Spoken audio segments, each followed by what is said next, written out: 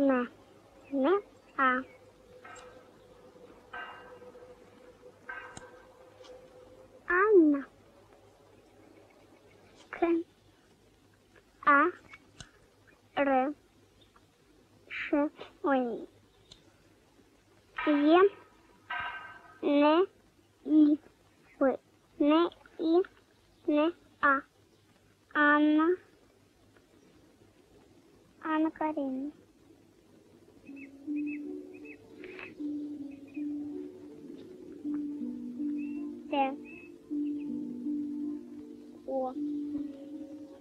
Этот фильм я снимал 13 лет. Как много изменилось за это время. Это терраса, на которой мы собирались всей семьей, сидели долго летними вечерами. Это скамейка, на которой любила сидеть наша мама. Дорожки, по которым она ходила. Этот дом с запахом кофе и жареных тостов по утрам. И с теплотой нагретых солнцем досок, по которым ты маленькой бежишь, ощущая теплоту этих досок всей босой ступней, чтобы потом, вбежав в затемненную шторами спальню матери, забраться к ней под одеяло, вдохнуть ее запахи, услышать простое и ясное, что забудешь сразу через пять минут, выходя от нее, но потом когда-нибудь обязательно вспомнишь в своей жизни.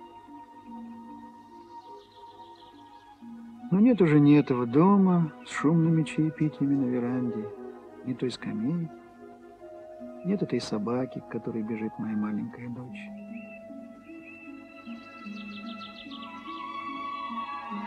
Да и страны той империи, в которой все это происходило, тоже уже нет.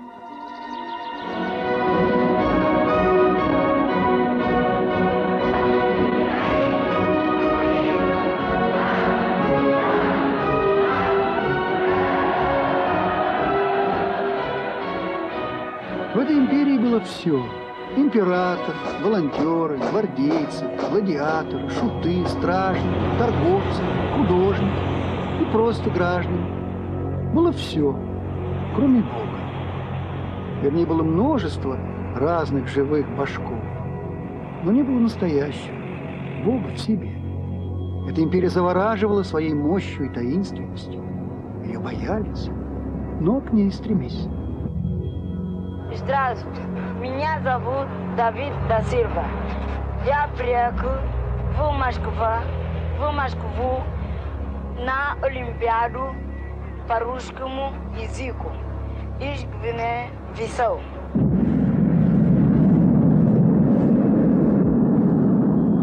Меня зовут Магда, я приехала из Венгрии. Меня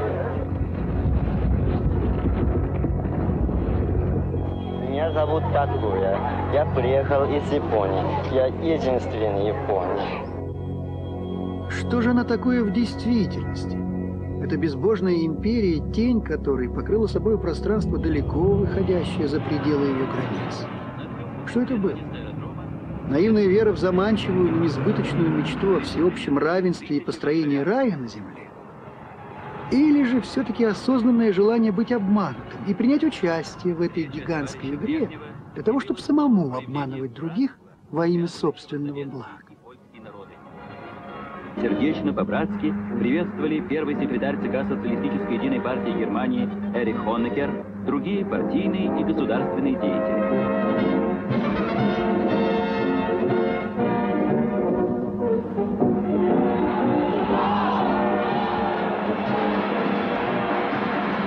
Но империи не могут существовать без врага. Если этого врага у империи нет, то его нужно выдумать. Вот почему даже хоккейные матчи в нашем сознании имели намного более глубокий смысл и совсем иное значение. Ведь совершенно не обязательно воевать с этим врагом. Главное его иметь, состязаться с ним, пугать и улыбаться. Встречи высокого гостя был выстроен почетный караул. Я не думаю, что эти американцы знают что-нибудь конкретное о том человеке, которого сейчас встречают. Он для них только образ, знак, за спиной которого стоит огромная держава, которую нужно бояться, а значит уважать. Остальной же мир прекрасно устроился между двумя полюсами, между двумя сверхмощными державами. Он уютно обустраивал свою жизнь, примыкая то к одному, то к другому, исходя, конечно, из своих личных интересов. И если ты был недоволен одним из императоров, то мог поехать за поддержкой к другому, в чем бы эта поддержка ни выражалась. В Кремле генеральный секретарь ЦК КПСС Леонид Ильич Брежнев. Сенатор представил Брежневу свое семейство.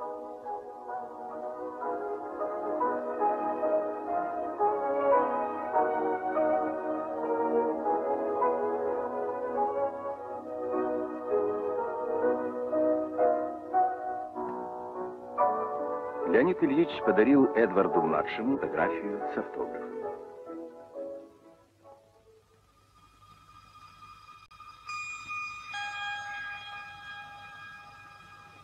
Самую крупную попробуй найди. А здесь их нету. Ищи, ищи.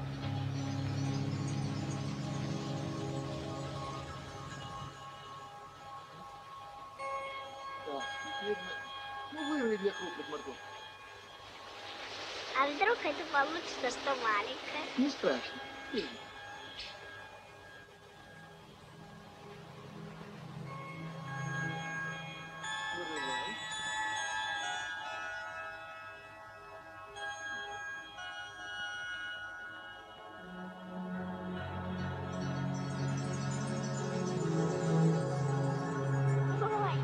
а если она меня попадет?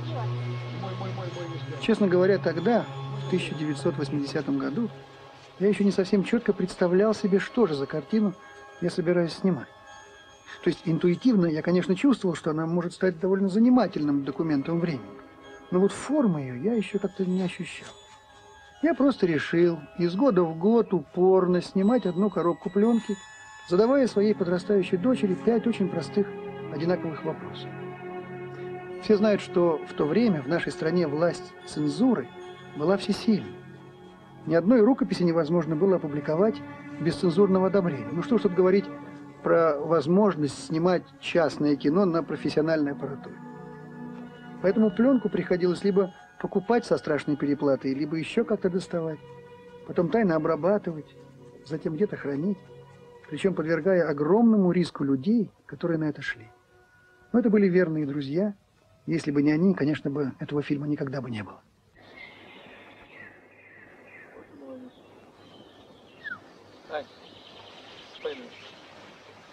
Здорово. Здорово. Ань, А, споймай. Не меня. Здорово. здорово. Как дела? И чего? Вон, приятно с вами. Нет, чего ты улыбаешься? У меня к тебе есть несколько вопросов, а ты мне ответить должна. Вот ты, скажи мне, чего ты больше всего боишься? На меня смотри только. Бабу-ягу. Кого? Бабу-ягу. А какая она? Ну чего ты только, чего ты все время, что такое, что ты улыбаешься все время, что такое играешь мне здесь? Ну-ка расскажи мне, почему ты боишься больше? Потому что у нее длинный нос. Из-за носа боишься? Ну и рожа страшная. Не рожа страшно. Понятно. Скажи мне, а чего ты больше всего на свете хочешь? Крокодила. Крокодила хочешь? Живого? Да. А чего ты больше всего на свете не любишь? А? Э, Суп, который называется борщ. Борщ не люблю.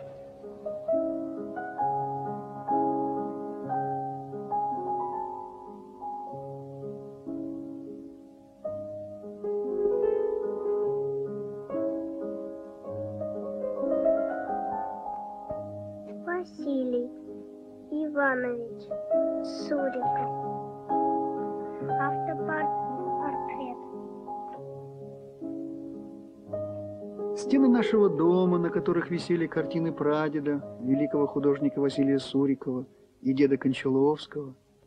Энергия и тепло нашей матери, Аниной бабушки до поры до времени сохраняли ее от влияния внешнего мира. Она знала, кто ее предки, и не боялась этого.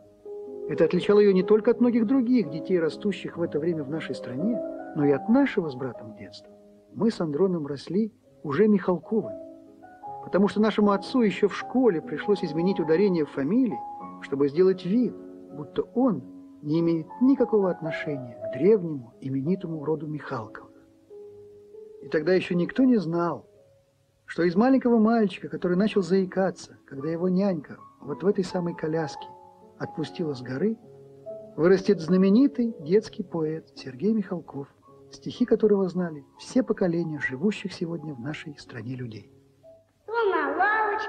Кто на лавочке сидел, кто на улицу глядел, кто ли пел, Борис молчал, второй ногой. Дело было вечером, делать было нечего. Галка села на заборе, вот забрался на чердак. Тут сказал ребятам Боря, просто так. А у меня в кармане гвоздь, а у вас? А у нас сегодня гость, а у вас?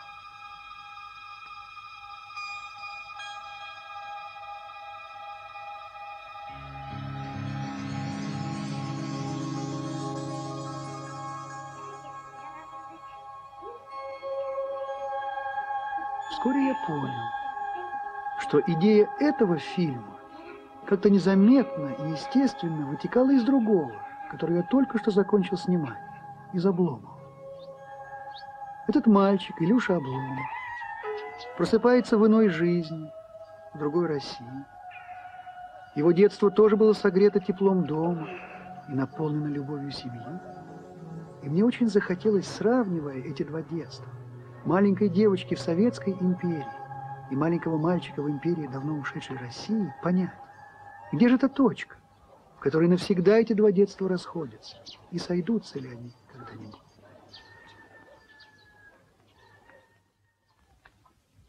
Выбежав из своего дома и оказавшись в огромных просторах огромной страны, Илюша Обломов, тем не менее, не мог потеряться, потому что люди, которых он мог встретить на своем пути, жили, или, по крайней мере, старались жить по тем же законам, по которым жили и предки самого Илюши.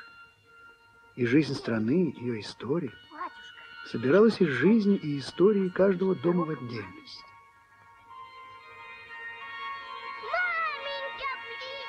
Анна же, покинув свои стены, попадала в мир подмен и имитаций.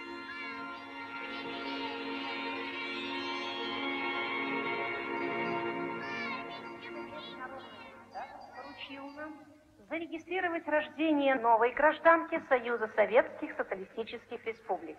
Ваша дочь родилась в прекрасное время, когда вековые мечты человечества притворяются в жизнь самоотверженным трудом советских людей. Иметь ребенка – это большое счастье для каждого человека. Но вместе с тем это огромный труд по воспитанию и ответственность перед обществом за то, кем он вырастет, каким станет.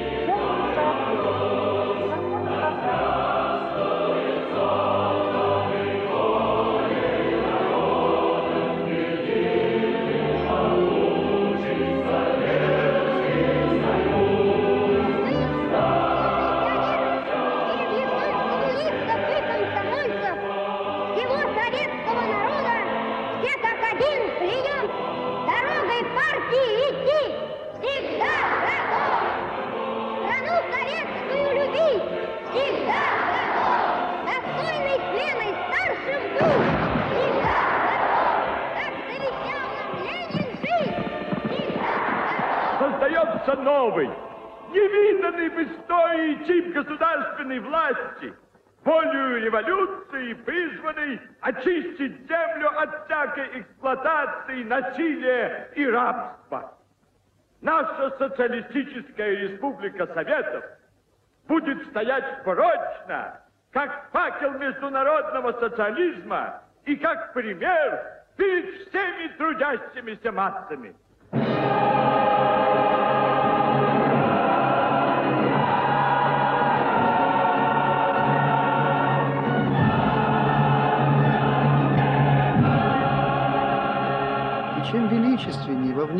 прилюдной жизни империя славила великую советскую родину и великий советский народ, тем дороже во внутренней, тайной жизни становилась для каждого человека его малая родина.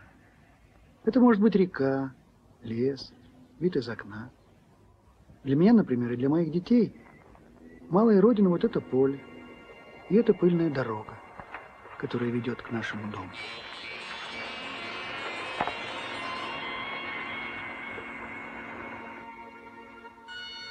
Сегодня 8 августа 1981 года. Вот уже э, прошел год с тех пор, как я начал снимать эту картину. Анне исполнилось 7 лет. В этом году она идет в школу.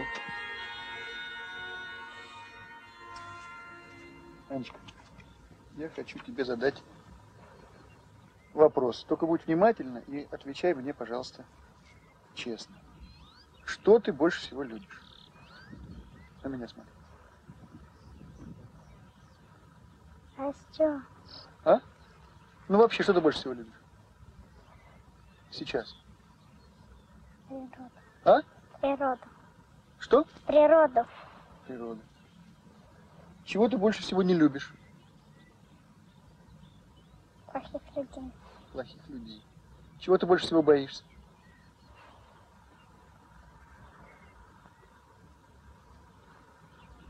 Драки. Драки? Говори громче. Драки. Драки. Чего тебе больше всего хочется? Быть темным. Как? Быть темный. Сейчас. Ну вот сейчас. Чтоб я хорошо вела. Что? Чтоб я хорошо вела. Чтоб ты хорошо себя вела? Ты больше всего хочешь вот этого сейчас? Вот в эту минуту? А что ты хочешь больше всего? Хорошо отвечать. Хорошо отвечать? Да? А я думал, купаться ты хочешь больше всего сейчас. А? Ну, купаться тоже. Смотри на Страх неправильно ответить. Как хорошо я знаю его. Я левша. И в школе меня переучивали. И я помню этот ужас, когда ты, торопясь, пропуская буквы, выводишь каракули непривычной правой рукой, а класс уже закончил писать и ждут одного тебя. Страх быть не как все. Это самый главный страх, который прививался с ранних лет каждому, кто жил в нашей стране.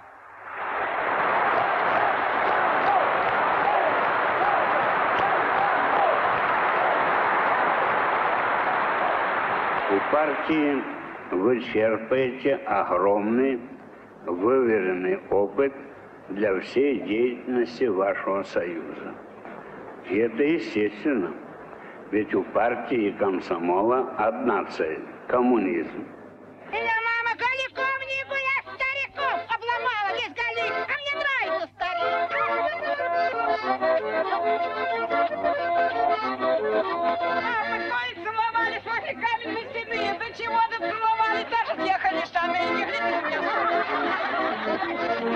Радостно! Радостно! С песнями! Песнями! Родина трудится!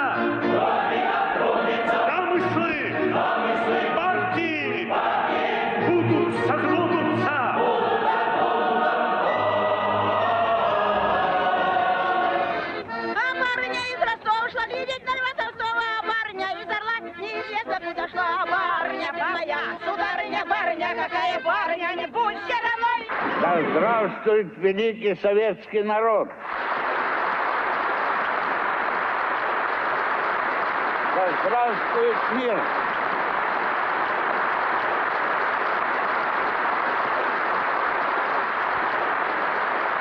Да здравствует коммунизм!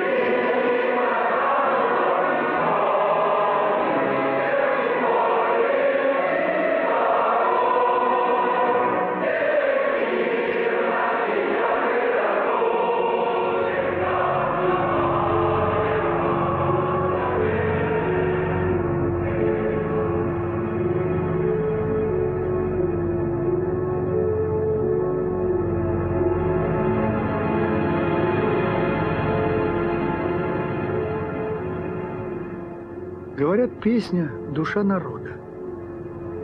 Но народ никогда не пел тех песен, которые пели в официальных залах.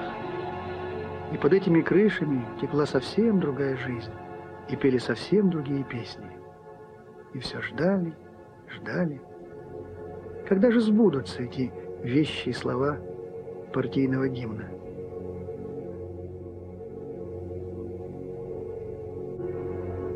Я по собственному велению, сердцу верности поклянясь, говорю о Владимире Ленине и о том, что главное в нас. Вот уже разгибаясь под ношей, вырывается мир из тьмы, начинаются горы с подножий, начинаемся с Ленина мы. Мы немало столетий ждали и вместили в себя потому силу всех прошедших восстаний, думы всех парижских коммун. Жгли сомнения, шли опасности, с четырех надвигались сторон. Но была на планете партия, та, которую создал. Мир готов за нее поручиться перед будущим наверняка и лежит на пульсе отчизны вечно ленинская рука.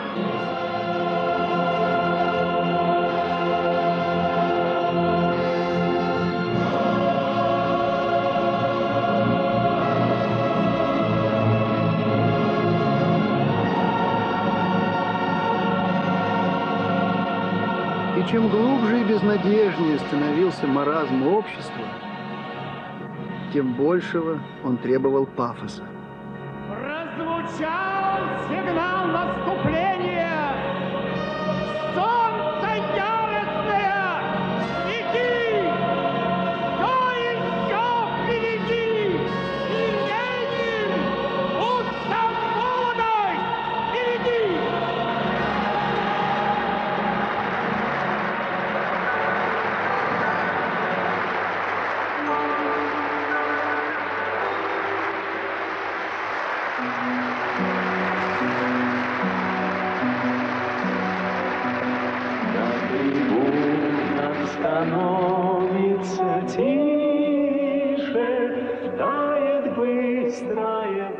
был последний раз, когда империя, собрав оставшиеся силы, попыталась продемонстрировать миру свое могущество и величие.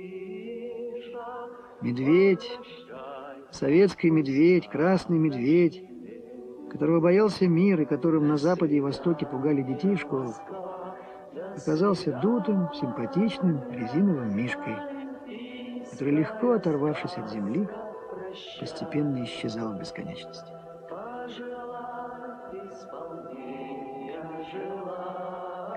Коммунистическая партия Советского Союза. Весь советский народ понес тяжелую и жизнью ушел верный продол- продолжатель великого дела Ленина, пламенный патриот, выдающийся революционный борец за мир, за коммунизм, крупнейший политический и государственный деятель современности Леонид Ильич Брежнев. Коммунистическая партия, наша советская родина и множество скорбящих людей за ее пределами прощаются с Леонидом Ильичем Брежневым.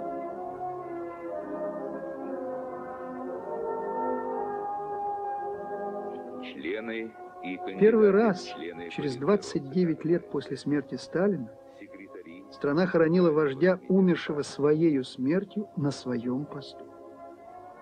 Я помню смерть Сталина. Мне было восемь лет. Тогда однажды утром я в первый раз в жизни увидел в нашем доме зеркала, завешенные черным муаром. Я помню, как мы с братом плакали, помню, как плакал отец. Помню траурную классическую музыку по радио, огромные толпы людей, которые шли прощаться с вождем в колонный зал мимо окон нашего дома. Еще я очень хорошо запомнил реакцию мамы, которая меня поразила тогда. Она была собрана, спокойна и так сострадательно вежлива. Но ни одной слезы я не видел на ее глазах по этому поводу. Смерть Сталина воспринималась народом и всей страной как катастрофа, как конец света. Смерть Брежнева как рубеж. Кто придет следующий? С чем придет? И вся страна приникла к телевизору, пытаясь угадать будущего преемника, потому что им мог быть только один из тех, кто был тогда там, на Красной площади.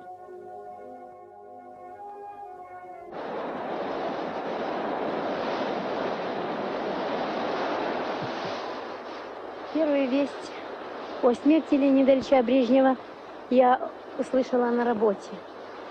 Мне казалось, через ясного неба был такой гром. Мне не верилось, что действительно умер Леонид Ильич. И видя в этот день плотину, Днепр, скалы, мне кажется, вместе со мной и вместе с нами стонало все.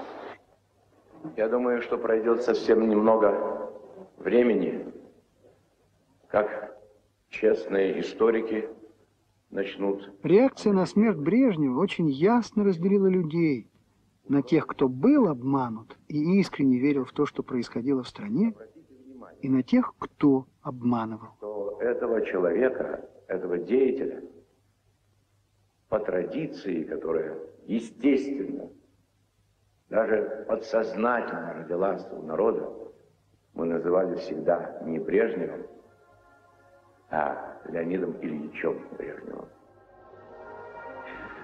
Скажи, пожалуйста, ты знаешь, что случилось в стране, да? Да. А что? Умер Леонид Ильич Брежнев.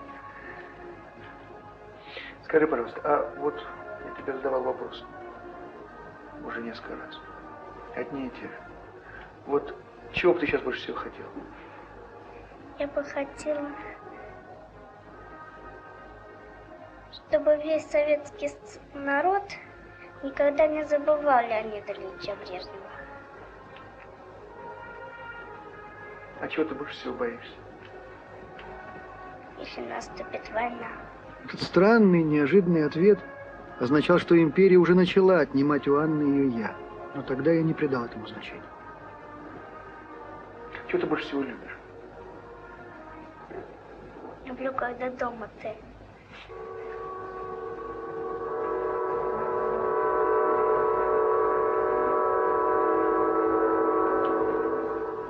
Чего ты ждешь в ближайшее время? Скорее наступил Новый год. Новый год?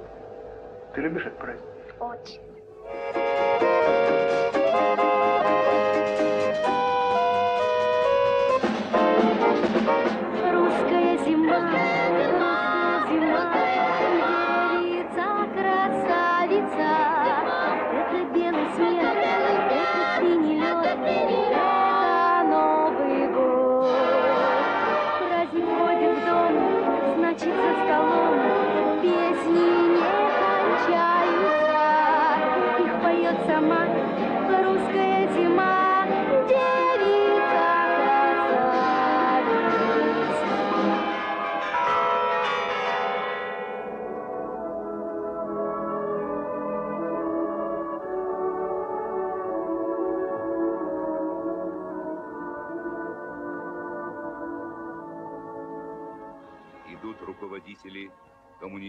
Коммунистической партии и советского государства.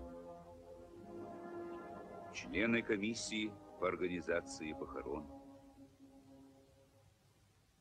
Родные близкие покойного. Прошло чуть больше года, и вновь в эфире зазвучала классическая музыка.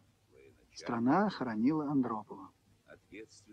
Когда я закончил снимать этот эпизод и пленку отдали в проявку, кто-то донес начальству, что через лабораторию проходит неучтенный материал и что Михалков снимает подпольную картину. Поэтому эпизод, который вышел, оказавшийся в браке, в легком нефокусе, я уже переснять не смог, чтобы не навлечь огромных неприятностей на людей, которые помогали мне работать. Надеюсь, зрители мне это простят.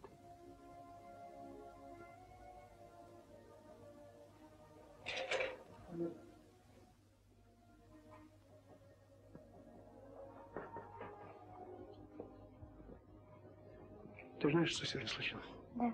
А что случилось? Умер наш вождь Леонид Юрий Владимирович Андропов. А?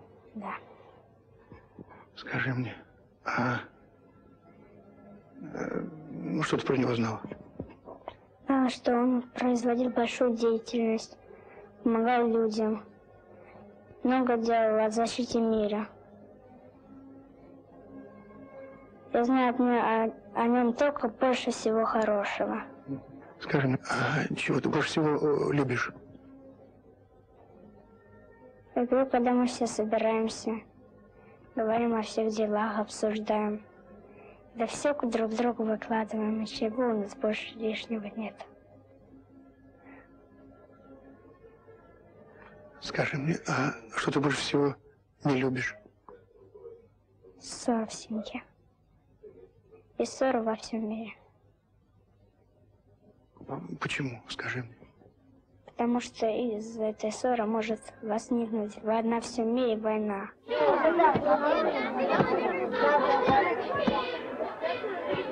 Ты откуда приехал? Я приехал из Белоруссии. А ты? А я с Казахстана.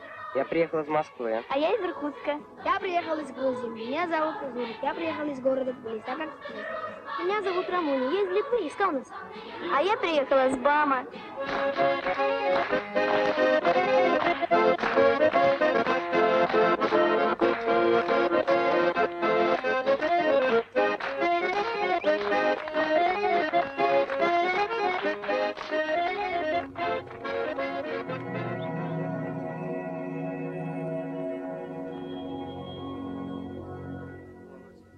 Кончина Юрия Владимировича. Что ты больше всего сейчас хочешь? Вот сейчас. Чтобы выбрали хорошего правителя. Выдающийся политический деятель. Чтобы наш правитель Константин Устинович Черненко мог о нас заботиться. Заботиться о всех здесь и на всем мире.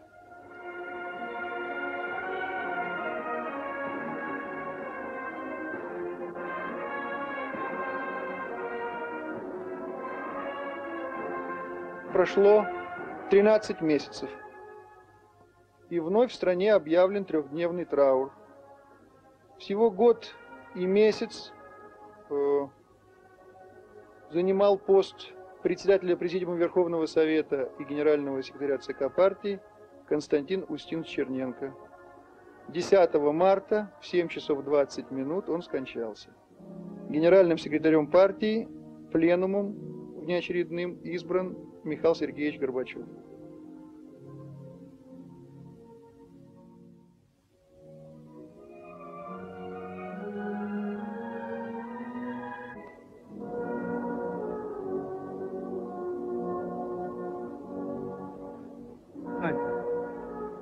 Вот прошел год с момента, как э, мы снимались последний раз.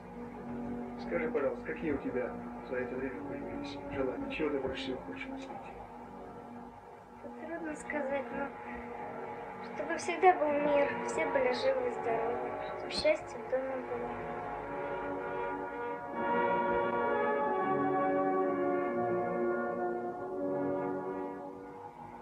Конечно, грустно сегодня. Угу.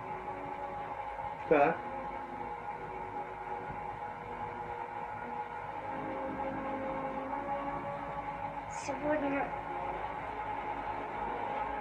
Нет никак, никаких радостей сегодня нет.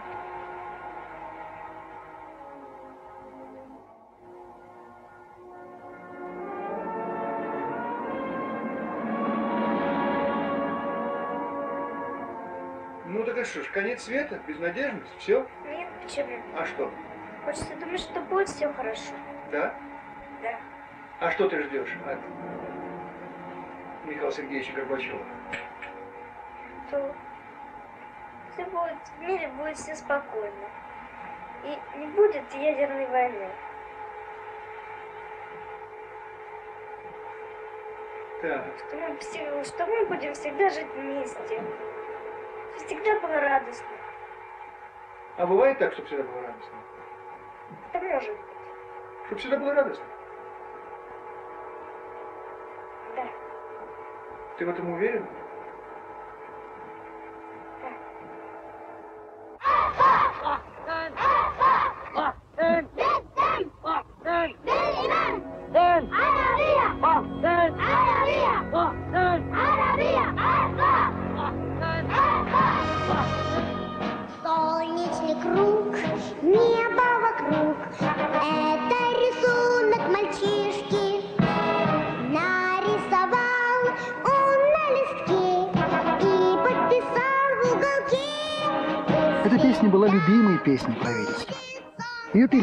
Дети, родители, правители, солдаты. Но чем громче, чем веселее страна пела о мире и дружбе, тем зловещей становился образ войны в Афганистане, о которой слух почти никто не говорит.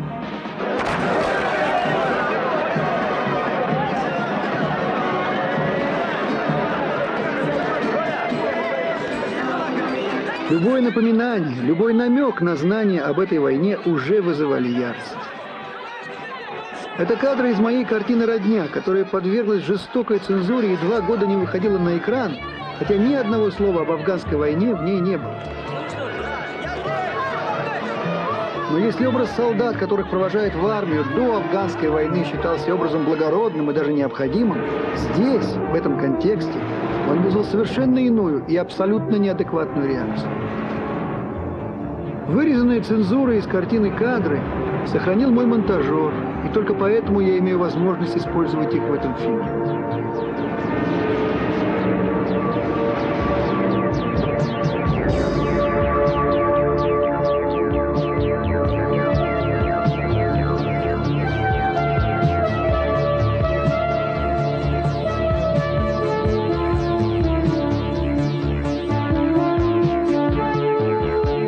Этот самолет увозил на неизвестную войну в жаркую чужую страну безымянный так называемый ограниченный контингент воинов-интернационалистов.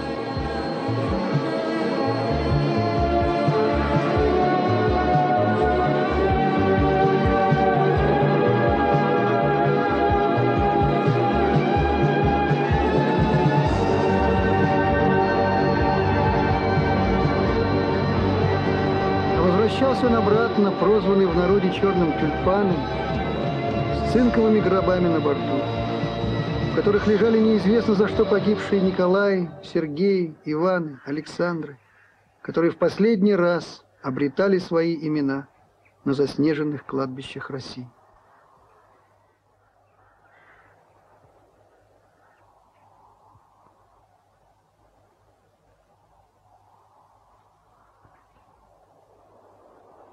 Если одним эта жестокая империя мнимого равенства возвращала их фамилии хотя бы на кладбищах, других она бросила в унижение, навсегда вычеркнув из памяти их имена.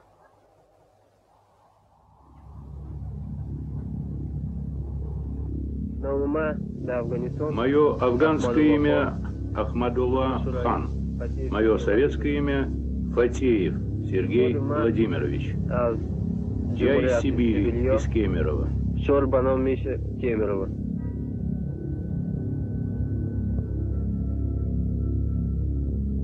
Мое афганское имя Мохаммад Ислам. Мое русское имя Виктор. Где ты родился? Я родился в Жданове, на Украине. Зовут меня Леонид Григорьевич. Мое имя здесь э. Родился я 2 июля 1955 года в Молдавской ССР, Чемшлийского района, Сибирский Нашик.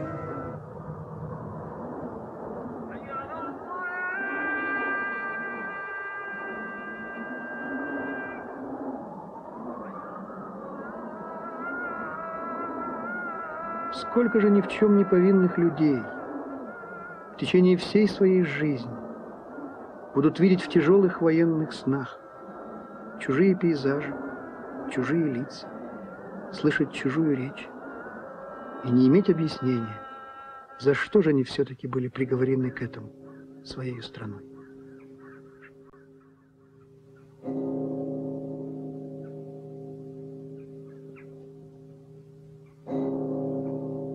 Сегодня 31 декабря 1987 года, последний день 87 года. Я почти э, два года не снимал свои картины, потому что был занят. Я снимал фильм «Очи черные», э, затем ставил спектакль «Механическое пианино» с тем же Мастрояне, с которым снимал картину в Римском драматическом театре. Э, и был, в общем, все время в разъездах, поэтому не мог снимать. Ну, что ты больше всего любишь? Это нельзя сказать однозначно, я много чего люблю. Ну, больше всего.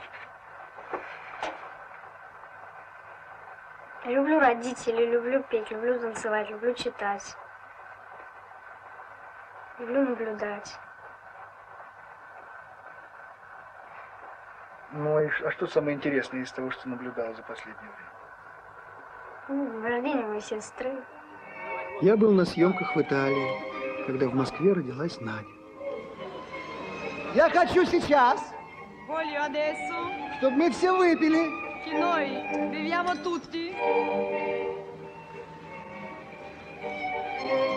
Потому что у меня родилась дочь.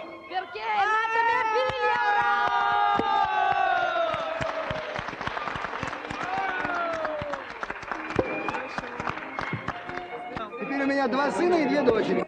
Повыше, повыше.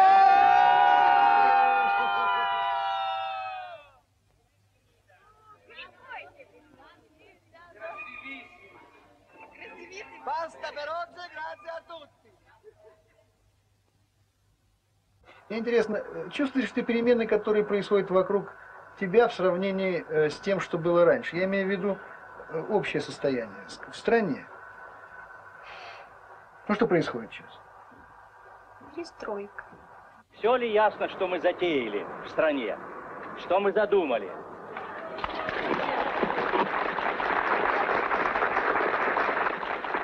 Знаете, всем надо перестраиваться. От политбюро ЦК КПСС до последнего рабочего места. Каждый на своем месте должен делать добросовестно, честно. Вот и вся перестройка. А то все говорят, а что такое перестройка? Что такое перестройка? Свое дело делать честно. Главная перестройка.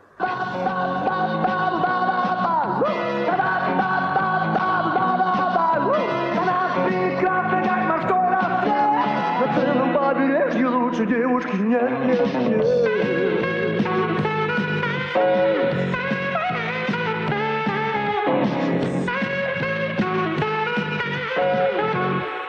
Симона.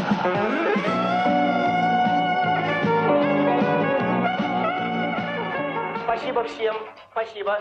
Спасибо. Это было не очень трудно для вас. Ничего обидного. Никакой неловкости. Спасибо. Я не знаю, что обозначает слово «перестройка» для тех, кто живет в других странах, но у нас оно было понято довольно специфически. Для большинства перестройка обозначала возможность тайны сделать явной. И в этом наиболее преуспели, конечно, румяные комсомольские вожди, хором певшие по утрам «Интернационал», а вечером поставлявшие девочек на закрытые партийные тусовки. Эти ребята в одночасье, с легкостью необыкновенной и великим профессионализмом подвели под происходящее идеологическую базу. Вот послушайте. Целью конкурса является выявление этих одаренных девочек, э, общаться в различных предлагаемых условиях, проявление новых качеств общения в нестандартных для них ситуациях. Ну, то есть найти представительность, по которым можно э, какие-то показывать как примеры поведения в обществе, появление, пример поведения на работе, в различных э, досуговых учреждениях. То есть выявление, как правило, как пример именно интересных, способных явиться примером для нашей сельской молодежи.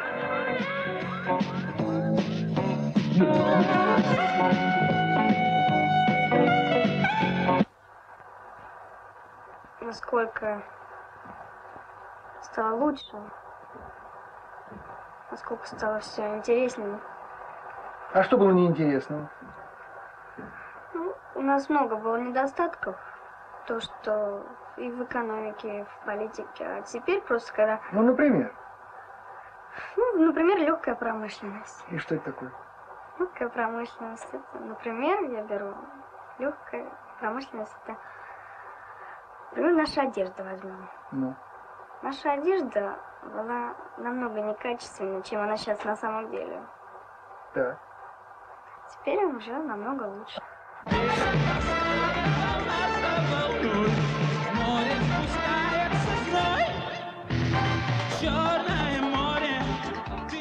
На заре перестройки, довольно много лет назад, в холодной стекляшке на берегу Москва-реки Сережа Пенкин праздновал свой день рождения.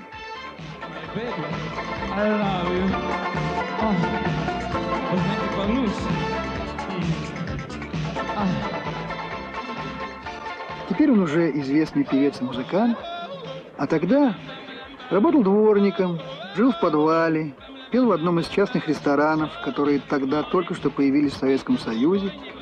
И как многие из тех, кто присутствовал здесь, мечтал о славе, Первом канале телевидения, лимузине, сигаре, казино. Словом, обо всем том, что можно было увидеть на видеокассете, привезенной из-за границы, и что для многих олицетворяло представление о настоящей свободе и настоящей демократии. День рождения Сергея Пенкина в традицию города Москвы, приблизительно так же, как 70 лет назад вошли в традицию проведения ноябрьских демонстраций. Впервые в Советском Союзе мужской стриптиз. Я не думаю, что певец Сергей Крылов, говоря эти слова тогда, представлял себе, как близок он будет к истине. Теперь уже не празднуют праздник 7 ноября в нашей стране. Зато дни рождения Сережи Пенкина то дело транслируют по Первому каналу телевидения.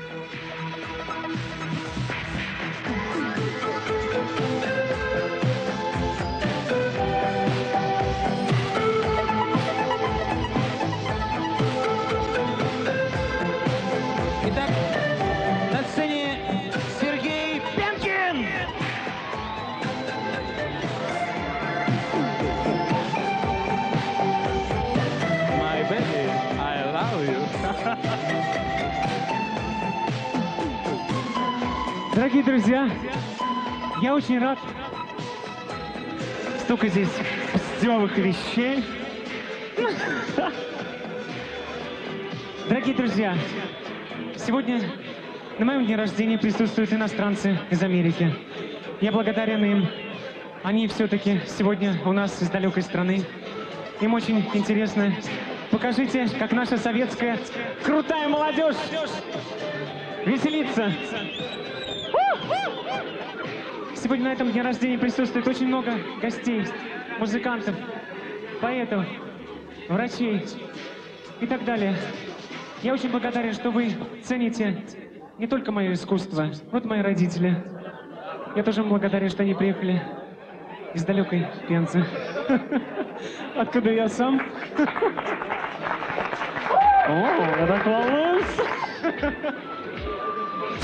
Дорогие друзья, спасибо вам большое.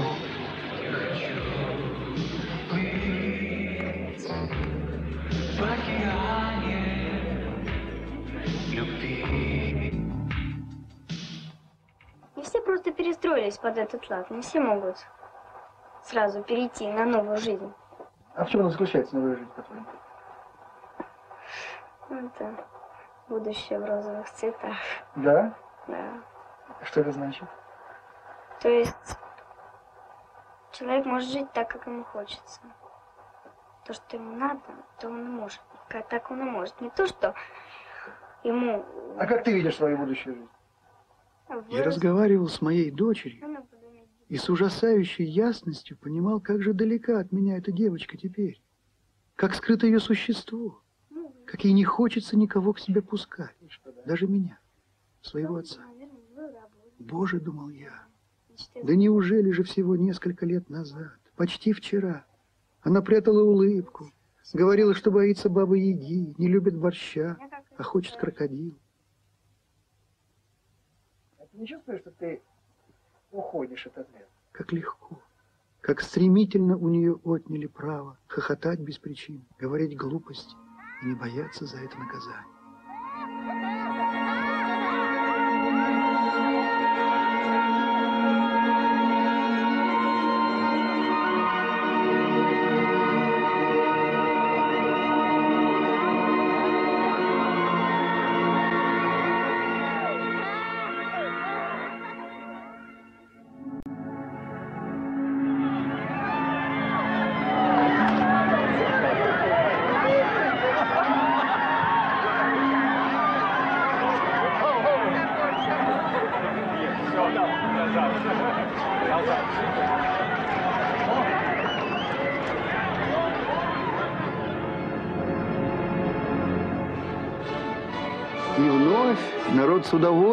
Удовольствием творил себе нового кумира.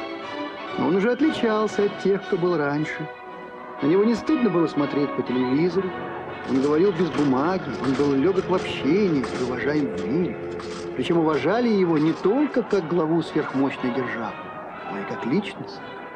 И вся страна приникала к экранам телевизоров и к радиоприемникам, когда он говорил, потому что то, что он говорил, было неведомым и невиданным для сознания большинства советских людей. Был ли он искренен в том, что он начинал? Убежден, что да. Предвидел ли он результаты того, что делал? Боюсь, что нет. Сказал, повторю здесь слова Пушкина. Да здравствует солнце, да скроется тьма. Ну, как легко сказать, да здравствует солнце, да скроется тьма. И как далек, тяжел, мучительный, а порой и несбыточен путь к этому.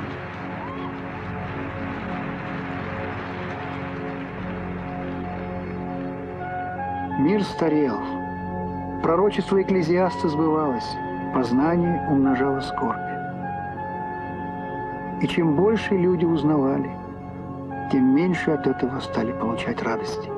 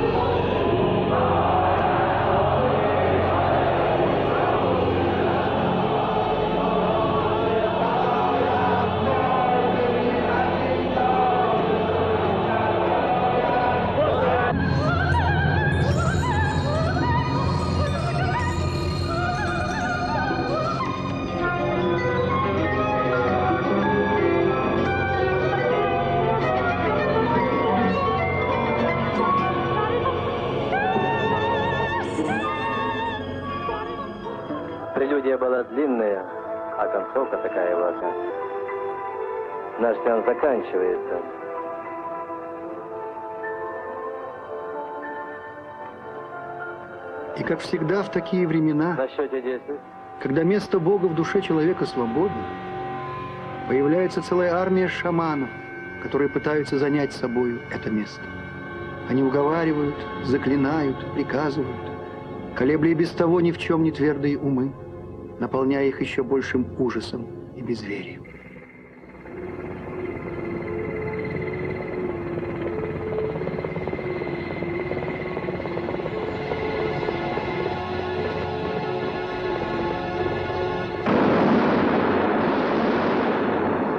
Разрушающую энергию человеческой злобы, безответственности и жестокости божественная природа отвечала разрушением себя. Сейчас все закончено. Это моя установка. Не ничто не должно быть извращено. Не должно быть перегиба никакого. Закончено все. Глаза открылись, перегибов нет. Все соображают, хорошо могут двигаться, не шатаясь, без головокружения.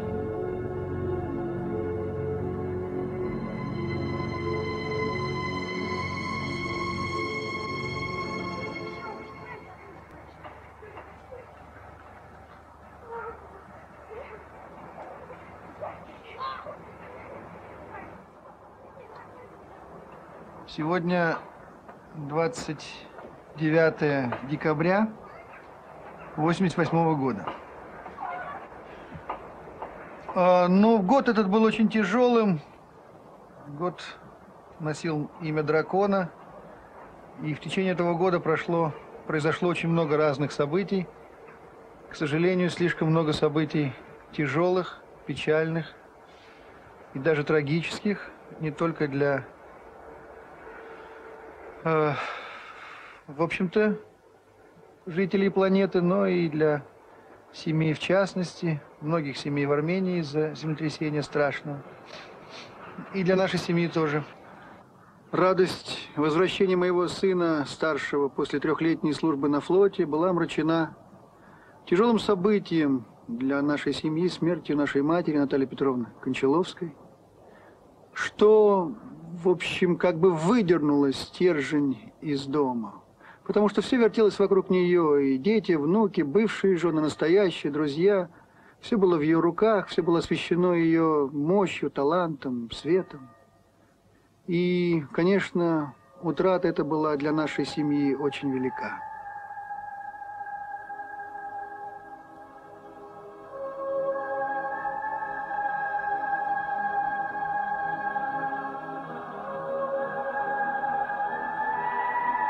Сколько раз я уезжаю отсюда на студию или куда-то далеко в поездку, просил благословения у мамы. И вот уже последние годы, каждый раз уезжая, я испытывал какой-то страх, что вот, может быть, я уеду, а ее не станет. Она всегда закрывала окна занавесками, и я если я уезжал рано утром, то это было нормально, понятно, она спала. Но если я уезжал позже, часов в девять, и дом был закрыт, и окна занавешены, я всегда испытывал страх, что вот я сейчас уеду, а вернусь ее уже нет.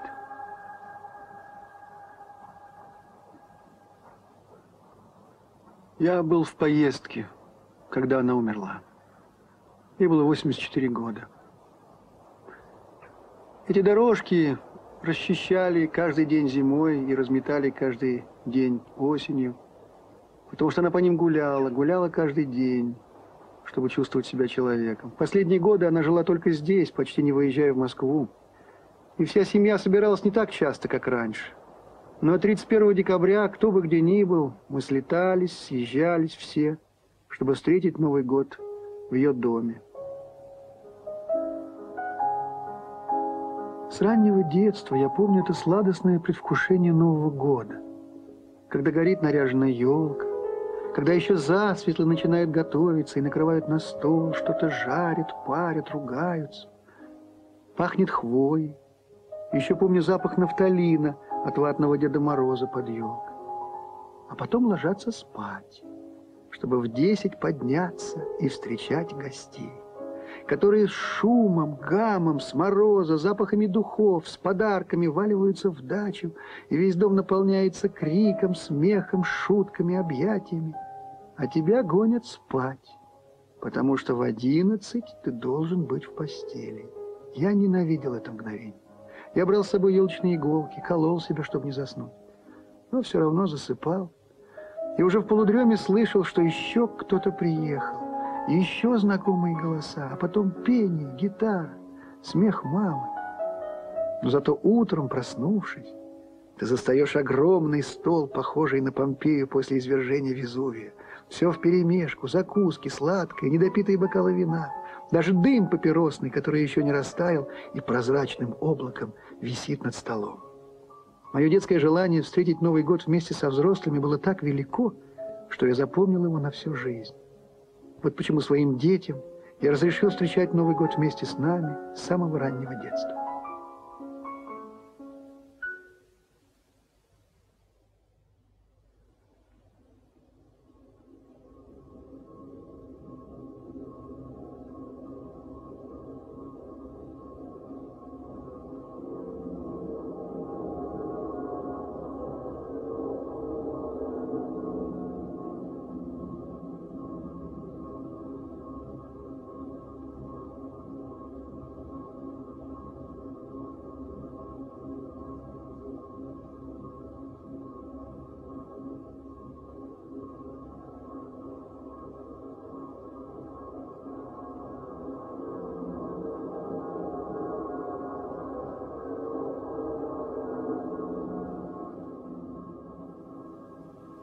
Ну а теперь, чего больше всего боится Анна? Войны боюсь. И с этого года я боюсь смерти близких. Потому что у меня в этом году моя бабушка, это была первая смерть, э, которую э, вообще мне я пережила вообще. Мне страшно очень. А что ты больше всего любишь? Ой, люблю, люблю родных своих. Люблю, когда все вместе, мы здесь. Хорошо. Тем, а ты? Что я Чего люблю? больше всего боишься? Боюсь. Войны тоже боюсь.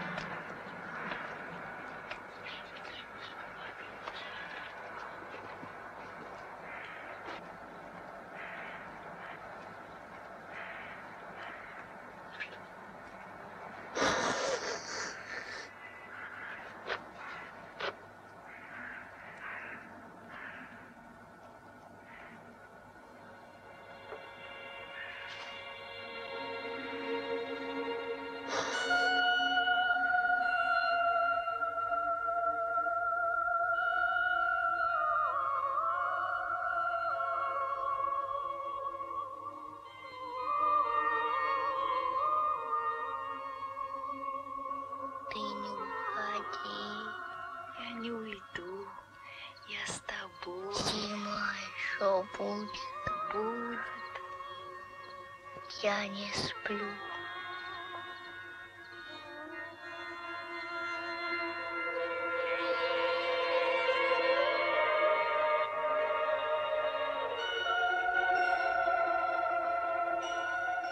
Поминая маму перед иконой, постепенно, как-то сама по себе, сложилась молитва.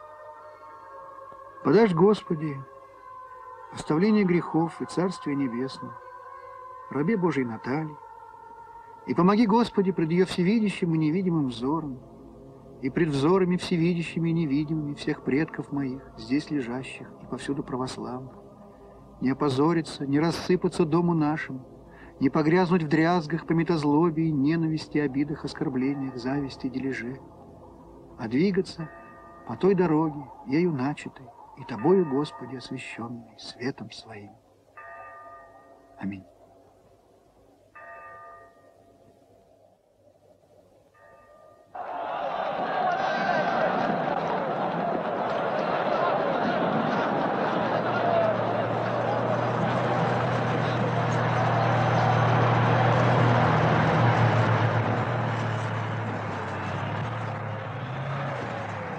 Каждого человека в жизни всегда есть два выхода.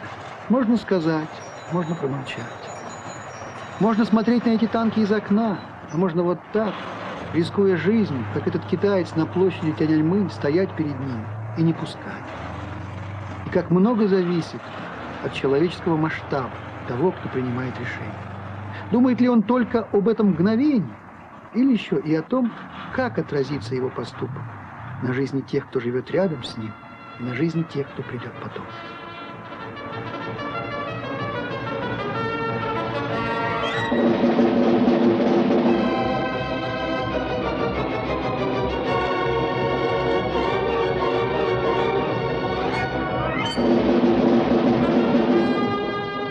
Пружина истории сжималась, империя сыпалась. Из лозунгов пропала цель. Осталось только направление.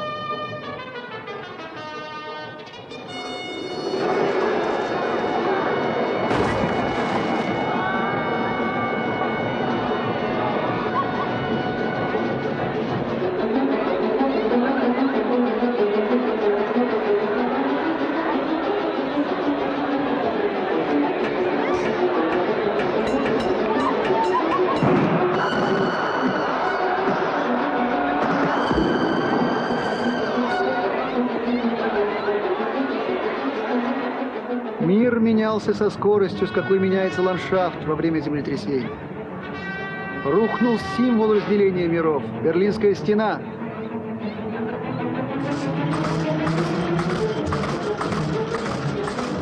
разрушались социалистические традиции, устои, привычки, валились идолы.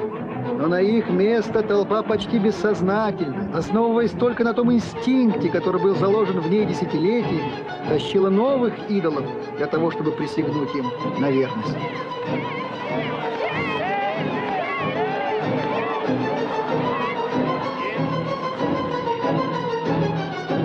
Из ссылки возвращен один из самых опасных для Советской империи диссидентов – Сахаров. Но мгновение это между его возвращением из ссылки и смертью было подобно вспышке метеорита.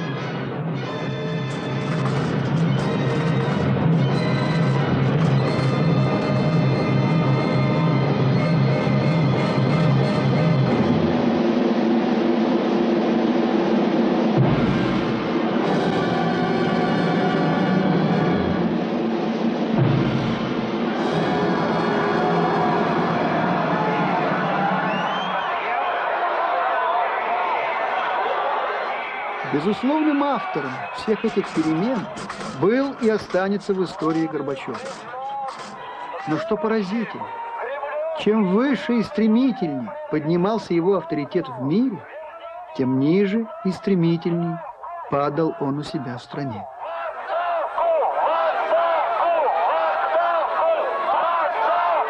Толпа, воспитанная десятилетиями во лжи, вынужденная поклоняться сотворенному своими же руками кумиру, с наслаждением воспользовалась возможностью, данной ей этим самым кумиром, для того, чтобы публично его растоптать.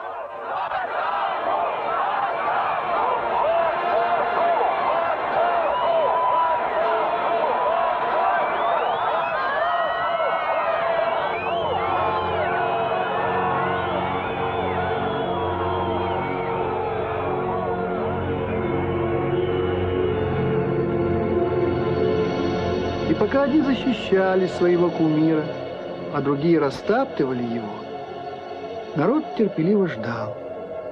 Когда же, наконец, ему дадут возможность спокойно жить и спокойно работать, для того, чтобы прокормить и тех, и других.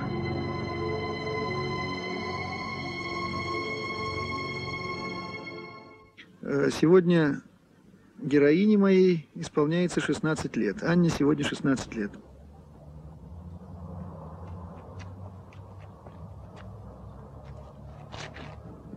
Здорово. Вот уже сколько лет мы снимаем картину? Ну, лет, наверное, 10, как я, насколько я помню. Скажи, а почему ты раньше так как-то все это безбоязненно охотно делала, а сейчас какая-то... Чего ты? Комплексы появились. Какие комплексы? Не знаю даже, но... Ну, все-таки.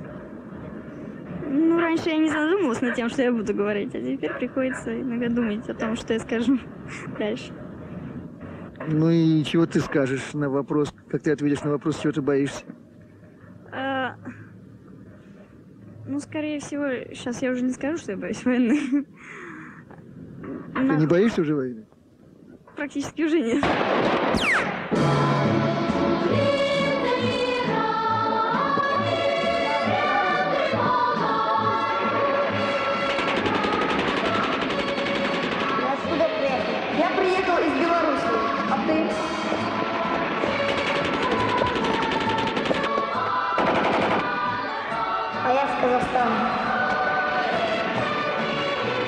Я приехал из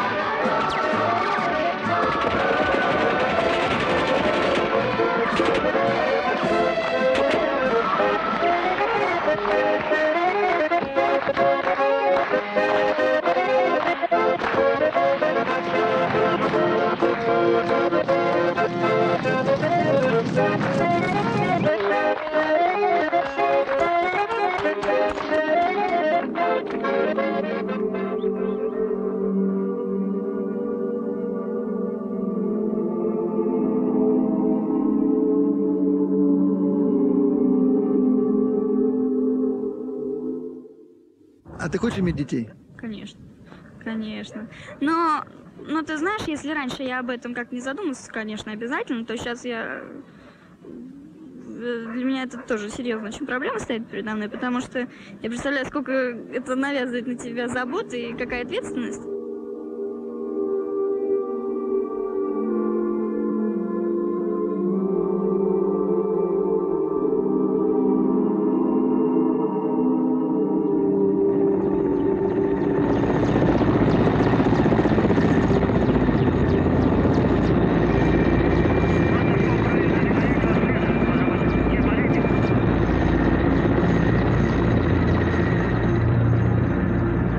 Начинал снимать картину, я хотел понять, где же та точка, в которой расходятся эти два детства?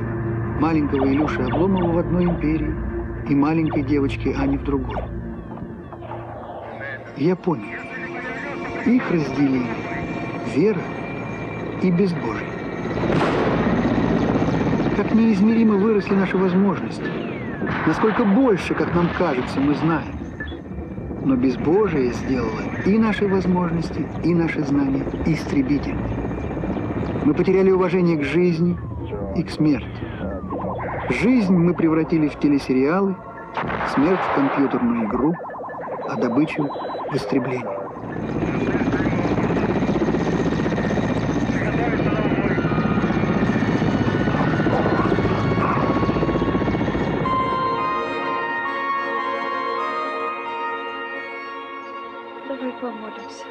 За мной, Илюшечка.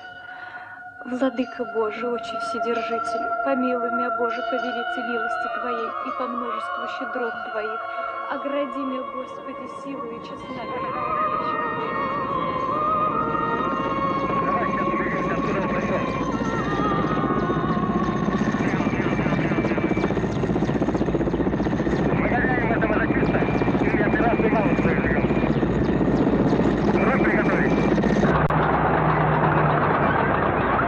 Дамы и господа, друзья, товарищи, как вы уже знаете из сообщений средств массовой информации, в связи с э, невозможностью по состоянию здоровья исполнения Михаилом Сергеевичем Горбачевым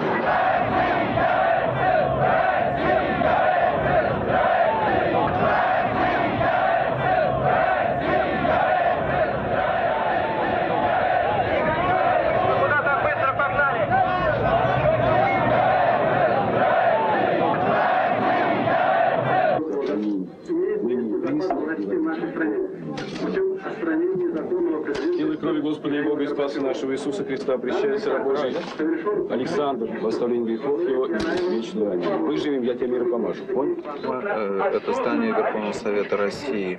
Как видите, все лица, которые сидят за этим стеклом и которые сейчас вещают прямой эфир для людей, собравшихся вокруг Белого дома, вам знакомы это Виктор Ярошенко, Никита Михалков, Александр Любимов, Александр Политковский. Здесь, в этой радиорубке, сегодня перебывало множество людей, деятелей культуры, науки, которые выражают свой взгляд на происходящее в течение двух дней. Никита Сергеевич, что вы сейчас сказали в обращении к тем людям, которые окружают это здание? Здесь было плохо слышно. Ну, понимаете, я э, попытался сказать, что те, кто меня знают, знают, что я никогда не был ни, ни- ни крайним, ни левым, ни правым. Я никогда не выступал на митингах и считаю, что каждый человек должен делать свое дело на своем месте. Уничтожена история, уничтожена культура, уничтожено огромное количество людей, миллионы людей уничтожены просто так за некий идеологический символ, который в результате, в общем-то, не стоит жизни одного ребенка. Ни одна идея не стоит жизни одного ребенка. Но дело не в этом. Я здесь сейчас, потому что я считаю, да, нужно наводить порядок. Но кому и как? Вот это вопрос серьезный. Существует правительство, которое избрано народом. Оно существует. Это всенародное. Это правительство, это президент. Я, у меня сложное отношение к Ельцину. Сложное. По разным причинам, в разных ипостасях. Это мое личное отношение. Но мы должны сейчас для себя решить, дадим мы возможность обращаться с нами с позиции силы, как это было многие годы.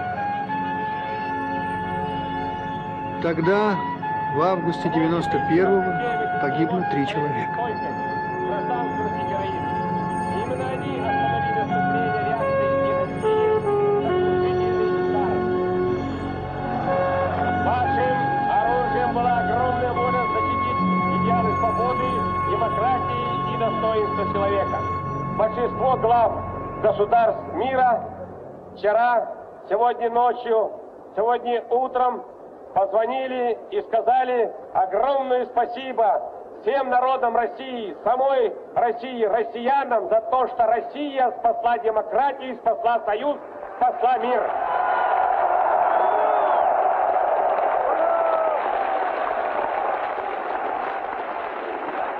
В том августе эти российские люди действительно спасли Союз.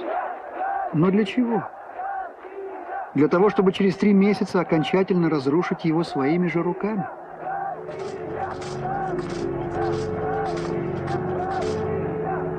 Дорогие соотечественники, сограждане, в силу сложившейся ситуации с образованием Содружества независимых государств я прекращаю свою деятельность на посту президента СССР.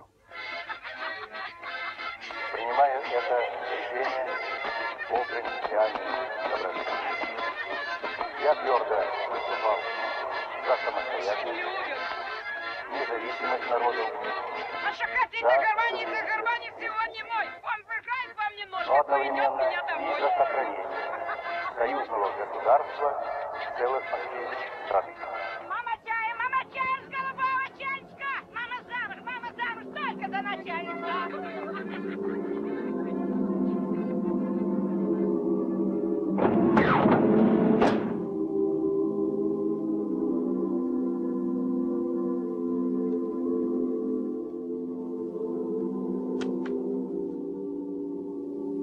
Первый раз уже экс-президенту великой державы не налили в чашку чаю, потому что по доброй большевистской традиции он был уже никто.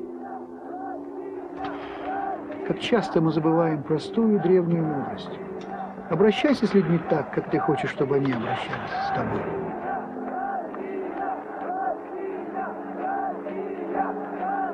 Итак, эра перестройки кончилась, в стране объявили демократию.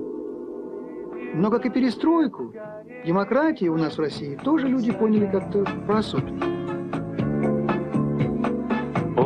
Помнишь, как он растет для нашей любви? Помнишь, как он наш ждал? Помните, мы были в гостях у Сережи Пенкина в холодной стекляшке? Так вот теперь его день рождения транслируется на всю страну по Первому каналу государственного телевидения. А сам он время от времени даже поет в Кремле. Я думаю, что э, надо больше таких проводить вечеров, балов, как во времена Пушкина, Онегина, когда люди ездили друг к другу в гости, на балы. Это так интересно, это так весело. Я думаю, что это должно входить в наш обиход. А Сережа Крылова тоже помните? Теперь он с экрана телевизора может обратиться ко всему человечеству. Жители планеты Земля. А как же ты прекрасна жизнь, а?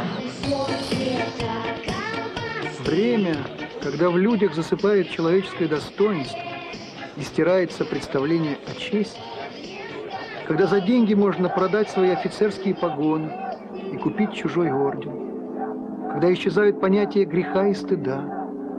Такое время в России называется смутным. И, как всегда в смутные времена, образовавшиеся пустоты заполняют все то, что никогда ни исторически, ни культурно не было и не будет естественным и органичным для нас.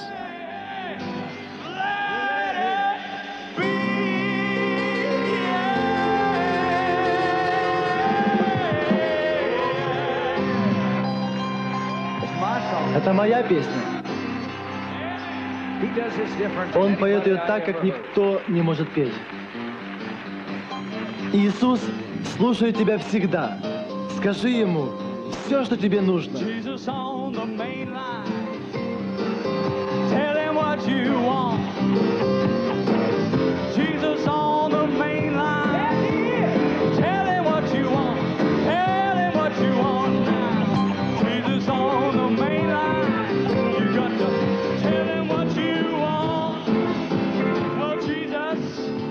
Женщины ползут на коленях к тому месту, где когда-то стоял храм, взорванный большевиками.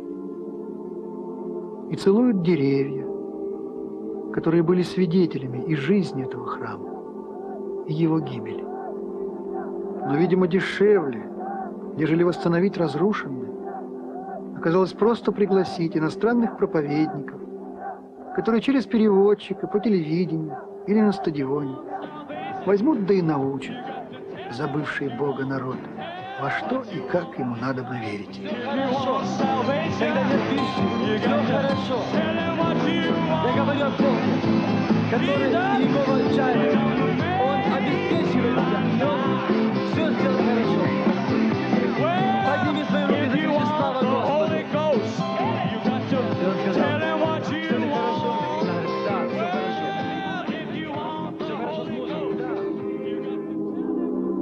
Этот мальчик, конечно же, еще не совсем понимает смысла и значения всего того, что происходит вокруг него. Но когда-нибудь он, или, скорее всего, его дети, придут на это место, к прекрасному храму, который они возведут своими руками.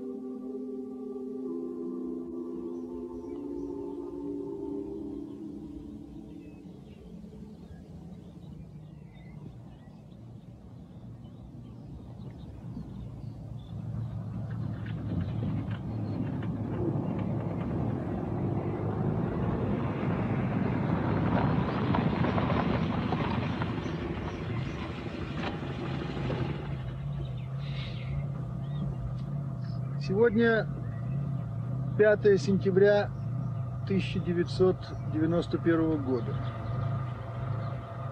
Вот на этом самом месте довольно много лет назад я продолжал снимать свою картину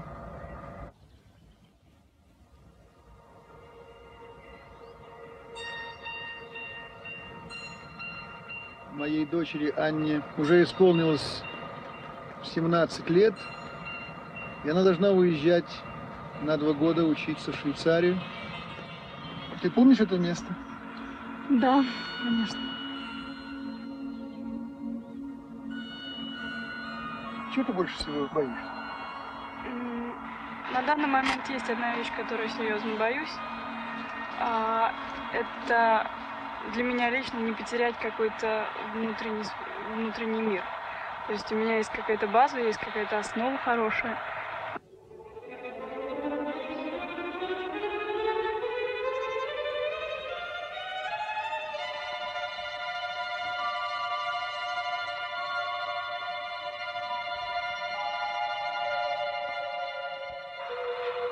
Может быть, может быть, вот на данный момент я реально поняла, что вообще все, все, что я имею, в смысле, в смысле, не знаю даже, как сказать, может быть, Родина, это можно все потерять за, за одну минуту. Потому Почему? что потому что в нашей стране происходить невозможно ничто, и какая-то опасность, опасность потери вот, вот того, что есть, какой-то внутреннего какого- какого-то стержня, она все время присутствует, и это Для связано... тебя Родина. Ой, что-то большое, что-то очень красивое. Не знаю. Ну, все-таки, что такое Родина? Родина. Когда есть во что можно верить и любить. Ну, все-таки. Ну, что для тебя... Помнишь, я водил сюда вас с Тёмой, Да, ходили да. смотреть на Родину. Что для тебя Родина? Вот если чисто э, приводить какую-то ассоциацию, то вот это поле, наверное, скорее всего. Вот и- это поле? Это поле, лес наш, реку.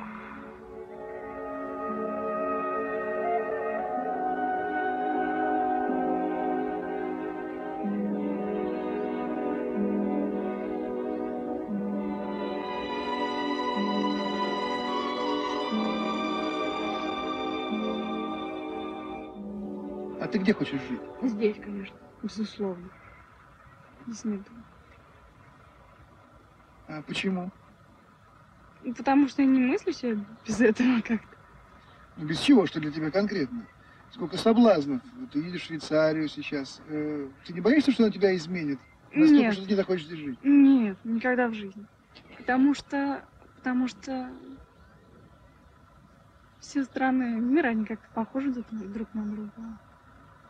А что ж не похоже? Ведь, может быть, мы не похожи тем, что э, у нас хуже?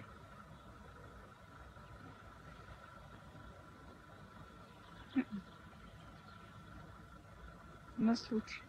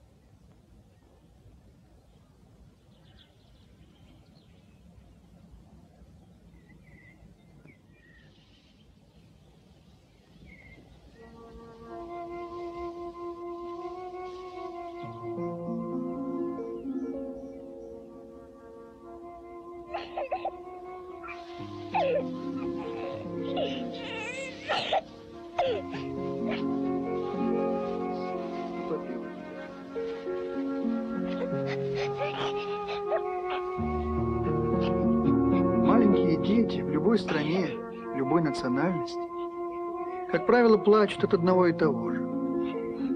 Любого ребенка можно при желании достаточно быстро успокоить. Дать ему конфету, рассказать сказку, отвлечь. Но почему заплакала Анна?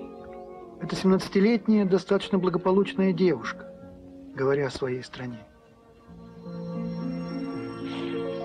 Я подумал, а заплакал бы Илюша Обломов, будучи 17-летним юношей, говоря о России?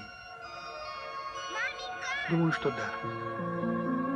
Потому что безбожие, разделившее эти две России, не сумело истребить ее всеобъемлющей любви, той самой материнской любви до слез.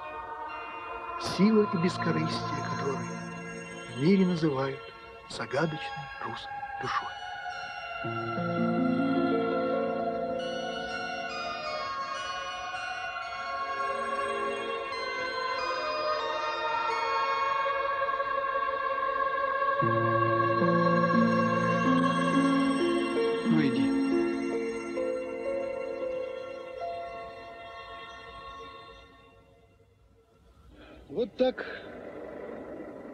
Закончился целый период в жизни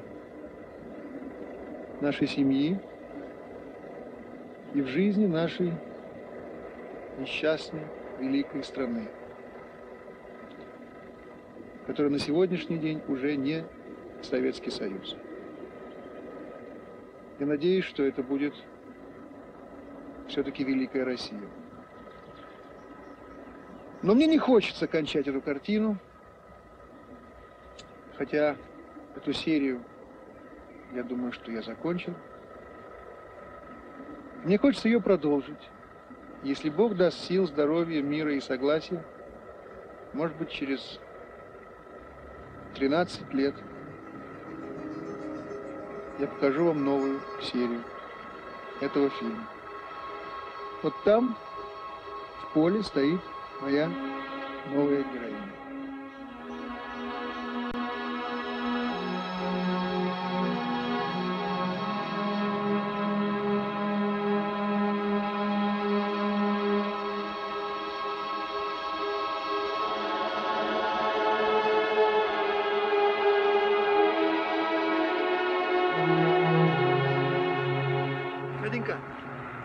Скажи мне, пожалуйста, ты что больше всего на свете любишь? Я люблю красоту. Кого? Красоту. А что ты больше всего боишься? Боюсь я. А я боюсь. Вот.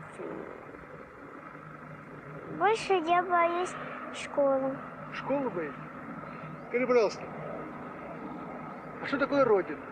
Это когда это красиво. А какая она? Большая? Маленькая. Маленькая? Маленькая? Покажи. Она вся твоя? У каждого человека, у каждого народа, у каждой страны есть своя неповторимая, единственная дорога, которую они должны пройти без подсказки и насилия, спокойно и с достоинством, не завидуя тем, кто уже добрался до цели, и помогая тем, кто отстал, лишь бы не мешали. С Богом, Анна.